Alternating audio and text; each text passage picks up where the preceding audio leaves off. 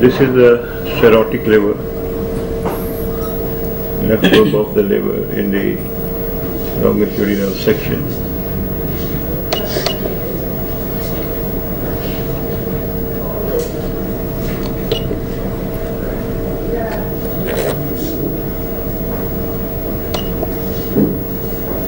This is the left lobe of the irregular outer surface and coarse texture.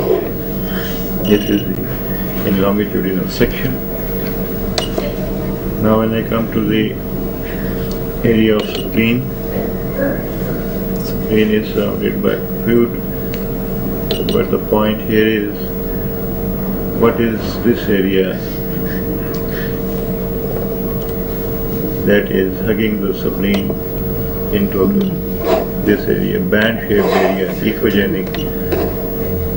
What is this area? Though this is a spleen, this is spleen, this is fluid surrounding this, this echogenic band and this black area is also representative of fluid, ascitic fluid. Now what is this approximately measuring 9 centimeter into 1.7 centimeter echogenic band with irregular outer surface. This is the liver hugging the spleen. This area is liver hugging the this is spleen hugging the spleen with a fluid line between separating both of the both of uh, these areas, the spleen as well as the tube of the liver. So this echogenic band is representative of liver, left lobe hugging the spleen. See it again. And now if I freeze the image on this side, you see, keep in mind that this is the spleen this is spleen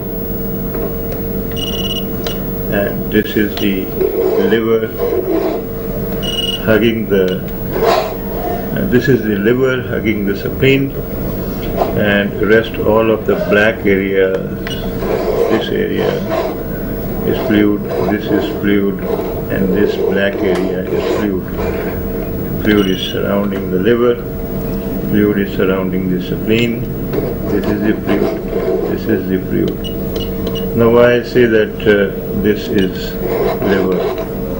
Because if you see that its echogenicity, its parenchyma, its texture, its outer surface, all resembles the liver.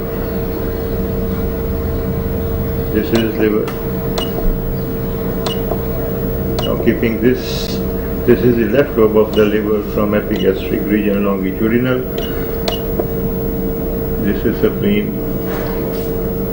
Now you can make up that there isn't any much difference between these two structures. See this left lobe of the liver and this is also and this area.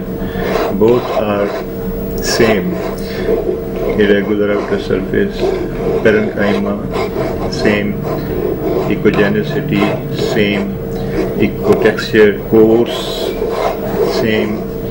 So this is in fact liver extending up to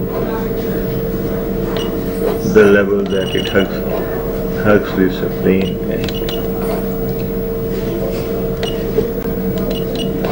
This is the liver this is the fluid. This is the fluid surrounding the liver and this tiny black area is also fluid between the liver and the spleen.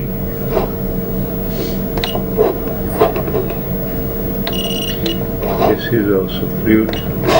Here this portion is fruit.